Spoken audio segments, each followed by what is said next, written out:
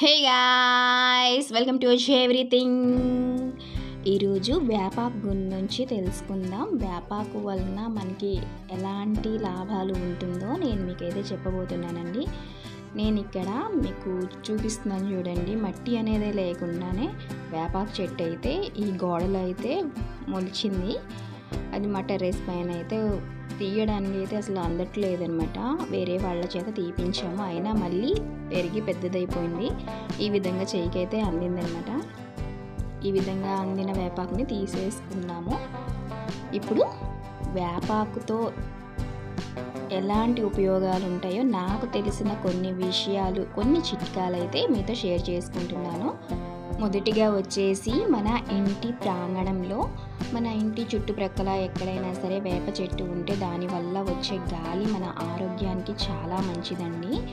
అదేవిధంగా సెకండ్ చిట్కా వచ్చేసి వేప పుల్లలతో మనం బ్రష్ చేసుకుంటే మన నోట్లో ఉండే బ్యాక్టీరియాస్ అన్నీ పోతాయి అన్నమాట పూర్వం రోజుల్లో అయితే పల్దుంపలు అని చెప్పేసి వేప పుల్లలతోనే చేసేవారు. ఇప్పుడైతే బ్రష్లు అనేవి వచ్చేసింది.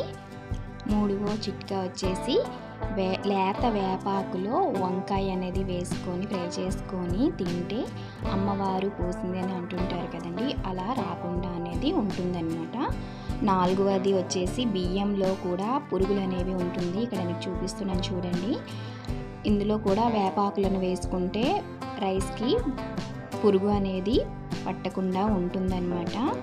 అలాగని కొంచెం వేసుకుంటే సరిపోదండి. చాలా ఎక్కువగా వేసుకోవాలి. డ్రైగా ఉన్నా పర్లేదు. అలాగనే పచ్చిదైనా తెచ్చి వేసేసుకున్నా సరే పర్లేదు. వేసుకోవడం వలన పురుగు అనేది పట్టకుండా ఉంటుందన్నమాట. ఐదవ చిట్కా వచ్చేసి మనం చలికాలంలో వేడి నీళ్ళని చేసుకొని స్నానం చేస్తూ ఉంటాం కదా ఆ వేపాకుని వేసుకొని చక్కగా మరిగించి ఆ నీరుతో స్నానం చేసుకున్నట్లయితే మన శరీరం పైన ఉండే బ్యాక్టీరియాస్ ఏమైనా దద్దుర్లు అదేవిధంగా దురదలు ఇలాంటివి ఏమైనా ఉంటే పోతుందన్నమాట. ఆరవ చిట్కా వచ్చేసి వేపాకు పచ్చిదైనా సరే ఎండిదైనా సరే ఎండిపోయినా కూడా పనిచేస్తుంది చూడండి ఈ విధంగా ఎండిపోయినా సరే దీన్ని మనం ఇండ్లు మొత్తం ఇంట్లో ధూపం వేసుకున్నట్లయితే ఇంట్లో చిన్న చిన్న క్రిములు క్రిమి కీటకాలు ఏవి ఉన్నా పోతుందన్నమాట. మనం పీల్చుకునే గాలి కూడా ప్యూరిఫై అవుతుంది. ఏడివ చిట్కా వచ్చేసి రెగ్యులర్గా నాలుగు ఐదు వేపాకులను నమిలి మింగినట్లయితే కడుపు నొప్పి అలాగే నులి పురుగులని ఉంటుంది కదండి చిన్నపిల్లల్లోనే ఎక్కువగా కనిపిస్తూ ఉంటుంది. చాక్లెట్స్ ఎక్కువగా తింటే ఆ నులి పురుగులు అనేవి అవుతుందన్నమాట. అవి అనేవి రాకుండా బాగా పనిచేస్తుంది అనమాట వేపాకు తినడం వలన.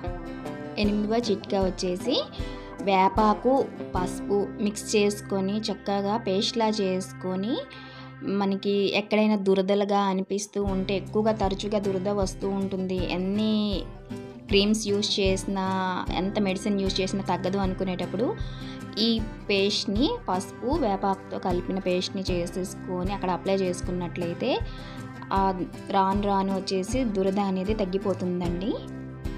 తొమ్మిదవ చిట్కా వచ్చేసి వేపాకుని ఎండిపోయిన తర్వాత చక్కగా పౌడర్ చేసుకొని మిక్సీలో వేసేసుకొని చక్కగా పౌడర్ అయిపోతుంది. ఆ పౌడర్ని మనం ఫేస్ ప్యాక్ లాగా కూడా యూస్ చేసుకోవచ్చు. ఈ విధంగా మనం బయట దొరుకుతూ ఉంటుంది. ఫేస్ ప్యాక్స్ వచ్చేసి చూస్తున్నారు చూస్తూ ఉంటారు. నీమ్ ఫేస్ ప్యాక్ అని చెప్పేసి అది మనం ఇంట్లోనే మన కళ్ళ ముందు కనిపించిన ఆకులతోని మనం ఫ్రెష్ ఆకులతోని చేసుకున్నట్లయితే అది మనం స్టోర్ చేసుకుని ఉంటే మనకి ఎప్పుడు కావాలంటే అప్పుడు ఫేస్ ప్యాక్గా కూడా యూస్ చేసుకోవచ్చు. ఈ ప్యాక్ వేసుకోవడం వలన మన ఫేస్ పైన ఉండే మొటిమలు ఇలాంటివి ఏవి రాకుండా ఉంటుందన్నమాట.